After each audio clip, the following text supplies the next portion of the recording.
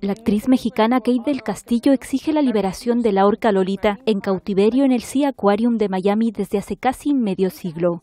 Con este pedido se ha unido la organización animalista PETA, que lleva adelante una campaña con este objetivo. La protagonista de telenovelas como La Reina del Sur pidió la relocalización de Lolita en un santuario costero en el Pacífico Norte para poner fin a su reclusión. Eh, Lolita ha tenido una vida de 46 años en cautiverio, eh, nadando en el estanque más pequeño que existe en el mundo para orcas, haciendo lo único que puede hacer, que es flotar o nadar en círculos muy, muy pequeños.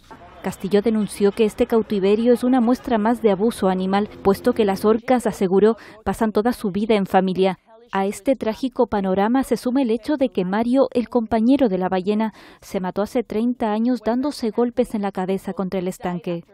Sin embargo, el Miami Sea Aquarium asegura que no hay evidencia científica de que Lolita pueda sobrevivir si fuera trasladada a mar abierto y acusó a la actriz de buscar publicidad.